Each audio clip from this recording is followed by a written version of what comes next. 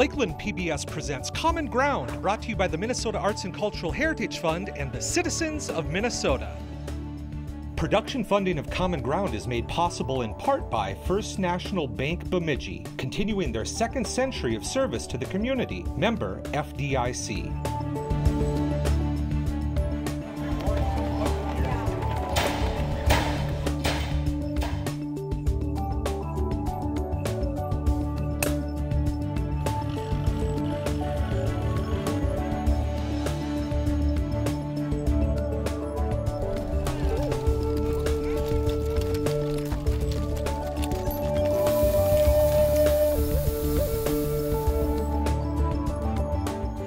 Welcome to Common Ground. I'm producer director Scott Knudsen. In this first of a two part series, Alethea Kenney and Linda Johnson Morke share with us the cultural significance of a ger, otherwise known as a yurt.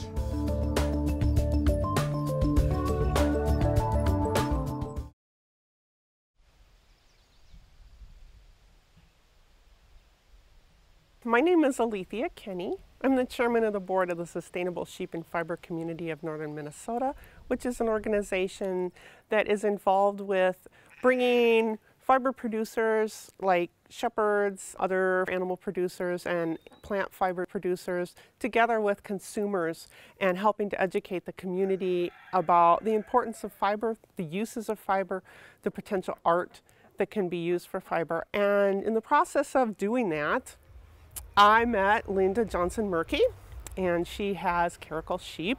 She's a fiber artist and also a scientist, and just does a fantastic job with wool. And that's kind of her passion is wool fibers, particularly the primitive breeds. And we got to talking, and it turns out she had gone to Mongolia and other places across Northern Europe learning about traditional felting techniques. And the more we talked, the more I found out that she was really passionate about Mongolian culture. She had even gone and learned how to make a yurt in the traditional felting method that the peoples in Mongolia would have used. And our organization at the time had been saying, gosh, yurts, they're so cool. If only we knew someone who did yurts. Wouldn't that be cool? I wonder how hard it would be to do that. And I came back to the board and I said, you know, Linda knows about this. Linda went and learned about this. Could we do something with that? And we talked about it and said, well, yeah, it would cost money. and where, where could we get money? And it turns out Region 2 Arts Council has grants and a fantastic staff to help you out when you're applying for grants. And so we applied for the process to get a grant through them. We worked with Linda as our artist in residence, and she also did work with Deborah McQueen Coder, who is also an artist down around the Twin Cities who can convert art to mural sizes. And we needed that because what we wanted to do was to teach people the importance of sheep to the Mongolian culture, the importance of wool, and the techniques needed to be able to take sheep and make it into shelter. But we wanted to do more than that. We wanted to present it as art so that future generations could look at what we did and have a mural portraying the process of taking that wool off of the sheep humanely and processing that as necessary in a primitive manner in order to make huge felt walls that would cover a traditional framework of a yurt, which then becomes their shelter to keep them safe from the elements through all of the seasons on the Mongolian steppes. And that's what we did. We were able to get a grant, thankfully, and we put on a workshop to bring that to the public. My name's Linda Johnson Morke, and I have had an interest in wool and felting pretty much for almost my whole adult life. And I've always been interested in cultures where wool and felt is important to their survival.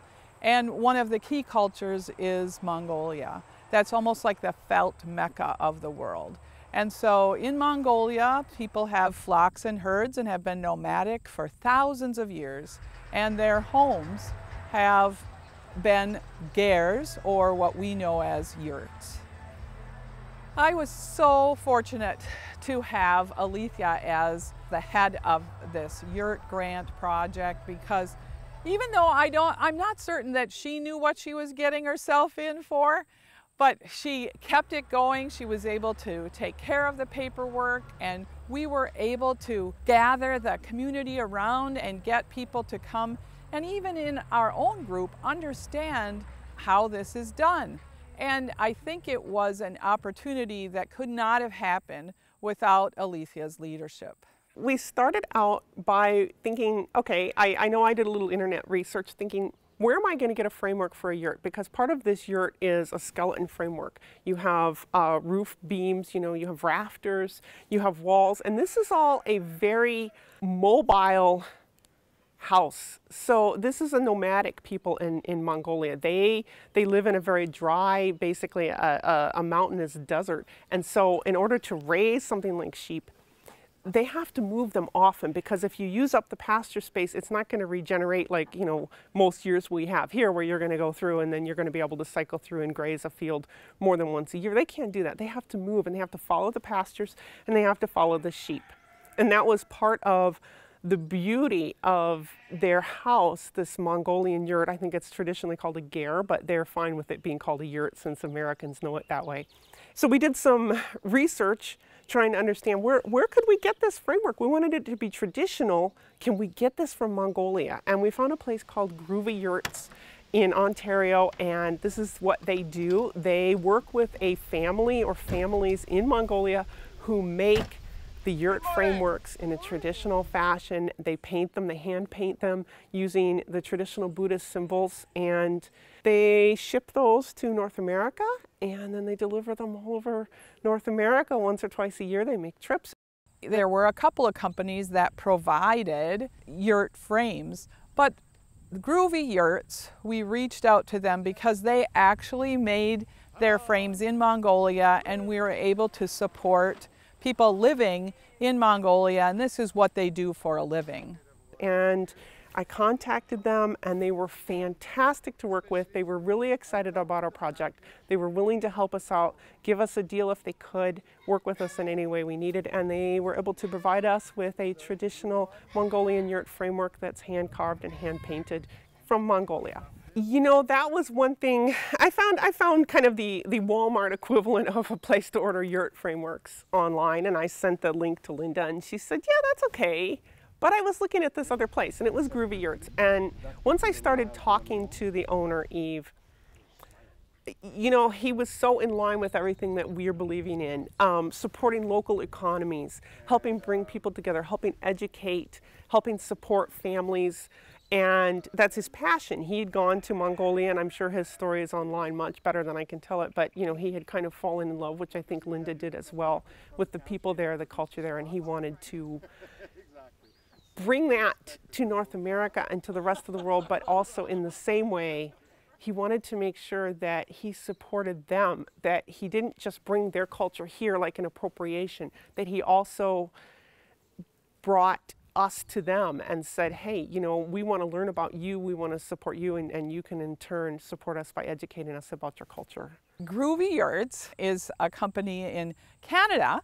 However, they go over and deal with the people in Mongolia and place the orders. And then when they have a container full of yurts, they ship it over to Canada. And then he has his own uh, semi that delivers the yurts to individuals and tells people how to set them up. So once we were able to order the yurt, which took a while, it was able to be delivered, and now we had our yurt frame. Eve Bellinegar was the delivery person. I hope I haven't mutilated his last name. Sorry, Eve. Um, yeah, you know, very knowledgeable. He has been to Mongolia numerous times. He's passionate about the people and the culture there and about philanthropy and being able to support families so that you know it's like a fair trade deal where he's supporting families. It's not supporting corporations or something like that. This is it's a family that he networks with. He knows them by name. You know they're all employed. They get good wages for what they produce. So it, it was in line with what we wanted to do and what we wanted to present. Yeah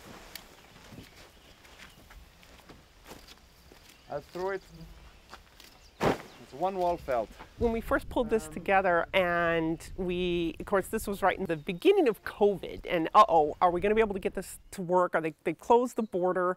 He's coming from Ontario. He usually does this huge thing where he comes all through the United States, and I think even down into maybe um, Mexico and, and further and then around. He does huge loops. And it was like, is this going to work? Is this going to work? Yes, it is. It's still open for commerce. They can get across.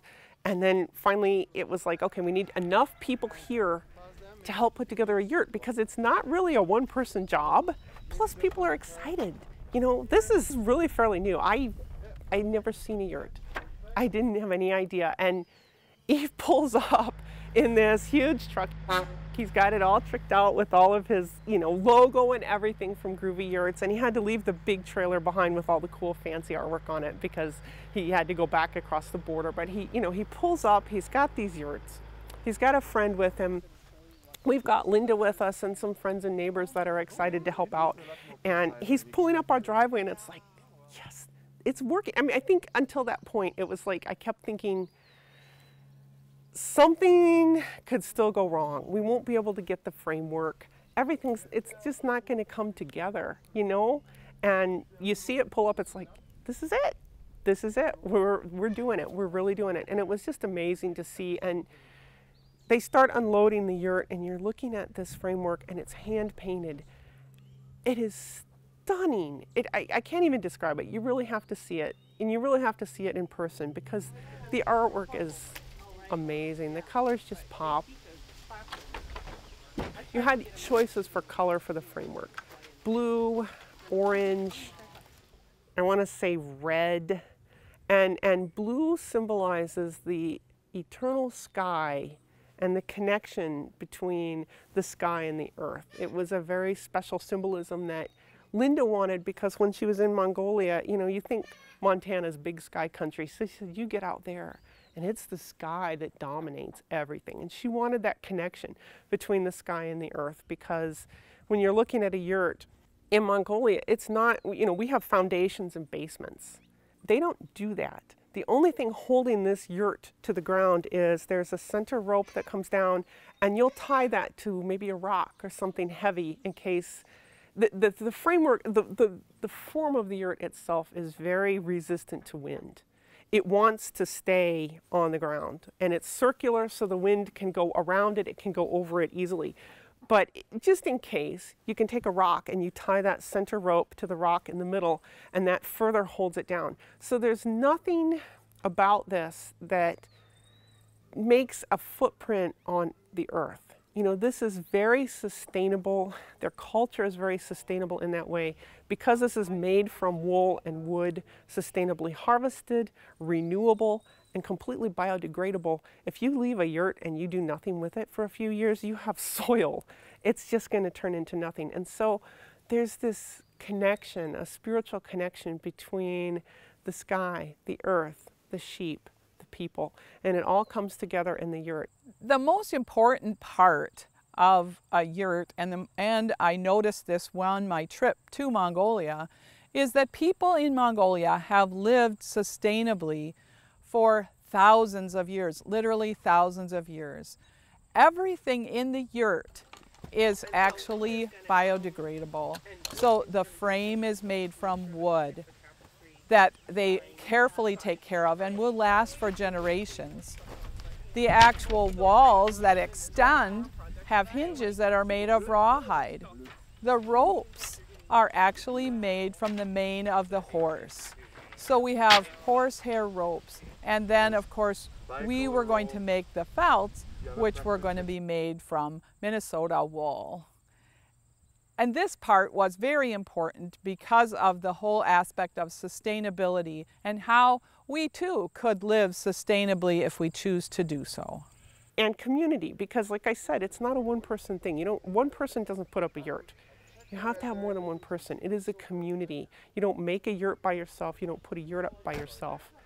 It's, it's not about you, it's about us. And all of that pulls together and it becomes about us living here. So, um, what I, I, guess we're waiting for your friend who's coming. Uh, Linda. Yes. Johnson Morke's the artist. So, so oh, yeah. there's no rush. what what we'll do, we'll just prepare a few little things. So when you enter a yurt, uh, you, you do it with the right foot first. It's a tradition. So it's so important for the Mongols because they are a nomadic culture.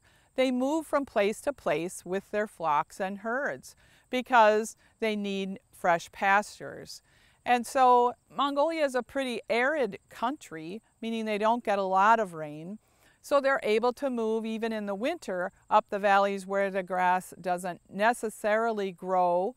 But because they have this home that they're able to pack up and put on a yak cart and move with them, they can go from place to place and set it up in a new location where they can be close to their flocks and herds. This is camel rawhide, and the quality of a good yurt, of a good wall, is that it's split by hand still, following the wood vein. See, it's all irregular. That's making it all that, that much stronger. So those walls are actually very strong. What kind of wood is that? So this is tamarack. Tamarack. So the roof rafters and the walls are made of tamarack. The rest of the the woodwork parts are made of uh, Siberian pine, which is the white Oh, pine. okay. The first thing we're going to put the uh, the central rope. It's the fertility rope, and uh, or also the anch- the anchoring rope. And I'll explain this once the yurt is uh, up. So the yurt and the yurt has been shaped by this extremely windy climate. So it is actually already aerodynamic. And again, it's not anchored to the ground. The wind will press it down until a certain wind speed, where the wind creates a depression on top and tends to suck the yurt in the air. That's the same phenomenon that carries the airplane. So um, Mongolians will attach a big stone to this rope or an old engine block today or something, something heavy. Incorporating the Mongolian culture was very important to this project in that when they were underneath control of the USSR in the area around the capital, um, the people had kind of lost the technique of making and being sustainable because they were more dependent on the government. When they brought a person from the center of the country who's still a master felt maker who understood how to do this. Many people came from around Ulaanbaatar to see this happen as well. This was very important to me as it shows how easily we can lose the tribal knowledge that's important to any culture. So that's why it was important to actually put the steps in pictures on the outside of the yurt of how the Mongols would make felt to continue their sustainable living the way they have had for thousands of years. You know, we live in an age where we think we have everything right at our fingertips because we have the internet. We can just Google Mongolia and you can come up with all these websites, and Wikipedia has a really nice little blurb on that. And you think, gosh, I know everything about Mongolia. You know, I can, I can tell you all about that. But the nice thing about meeting Eve and Linda, and particularly Eve at that point, was you're meeting someone who went there and it's different. It's like the storytellers of old you know? You're meeting someone who met them. You're not reading about it second and third and fourth hand and seeing a picture. You're meeting someone who says i was there. I can describe this to you. I can talk about the people that i met. This is they're they're very spiritual in their yurt. And he he was very careful to explain some of the symbolism I mentioned earlier about uh, this open fire in the yurt that seemed to have had a, a waterproofing effect, and I don't know if you can confirm that. And then they were they changed to stoves in the yurt about hundred years ago. And I still met old Mongolians that told me it's the best improvement in in thousand in 2,000 years. But that, that smoke had a waterproofing effect. So you remove that smoke, then they had to put a canvas so the earth breathes a little less. So if you change one thing, something else gives. So it's I'm extremely respectful. At the beginning, I wanted to change this and that, and so I, um, and now everything we, we change. We start offering windows, and I don't really promote them because it's uh, anyways, but it's the demand that people have. We have now three years experience with the windows and about 3,000 with the yurt itself. So um, I'm more confident with without the windows. Now, in Mongolia, the back half of the toono is always covered. So let's imagine the toono is like this.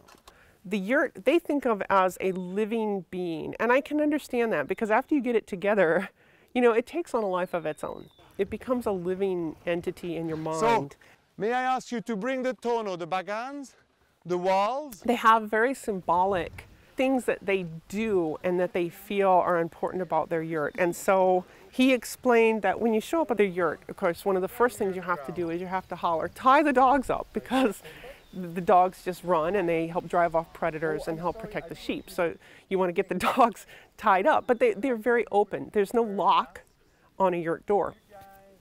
You come on in, but when you come in, you have to be careful because the framework of the door is, you know, a rectangle and it has a threshold.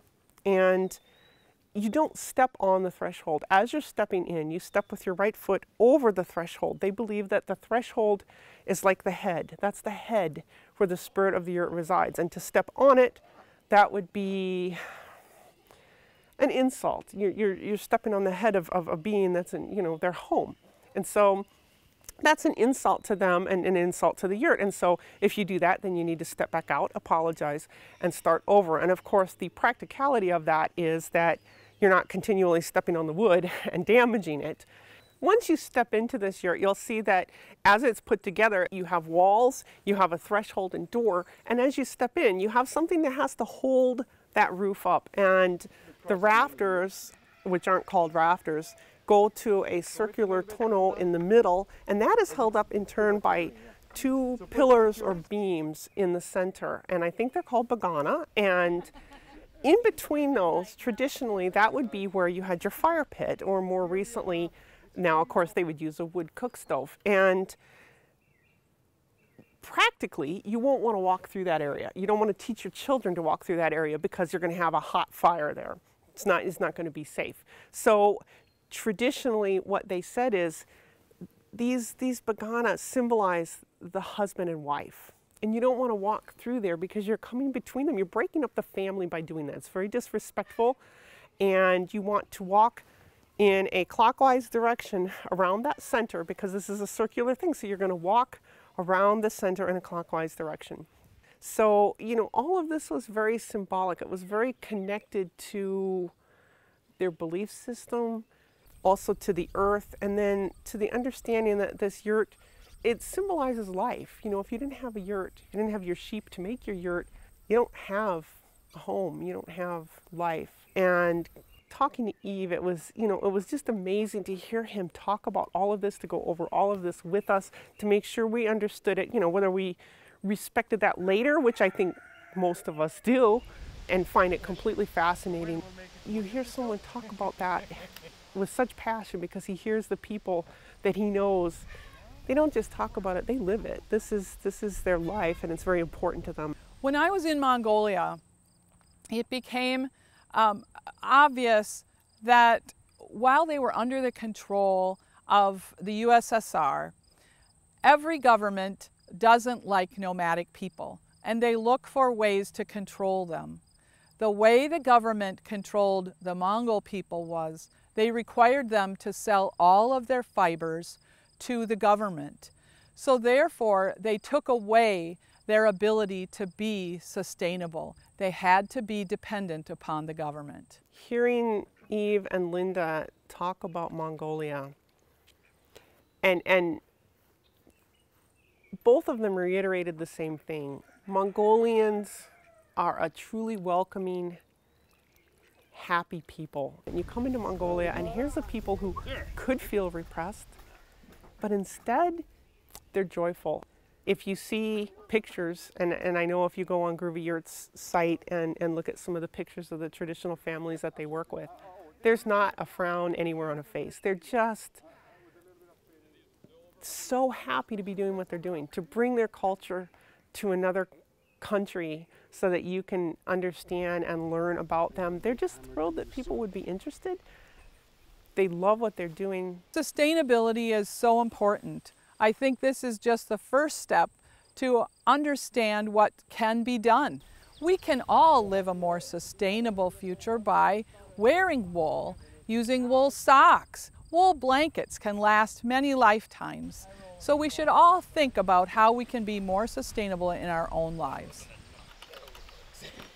They live in a place where it looks, well, it's a desert. You know, it's a mountainous desert area. It looks bleak in some ways. It's beautiful, but it's not, you know, it's not lush in any way. Yeah. Their life can be harsh and hard if they're truly living the nomadic lifestyle. It's, it's a hard life. They, they have with them only what they can carry on horseback or, or behind the horses. It's not opulent from our perspective lifestyle, and yet they're happy. They're not happy. They're they're at peace. And you look at that and you think, you know, there's something to that. There's really something to that. Water they are water resistant, but not waterproof. Huh? So that's why we all. Thank you so much for watching. Join us again on Common Ground.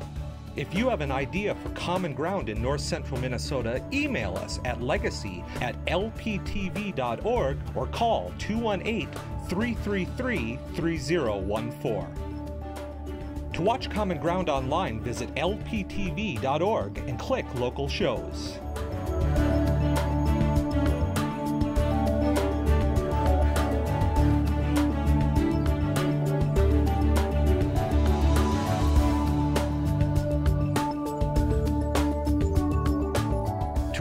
Episodes or segments of Common Ground, call 218 333 3020. Production funding of Common Ground was made possible in part by First National Bank Bemidji, continuing their second century of service to the community. Member FDIC.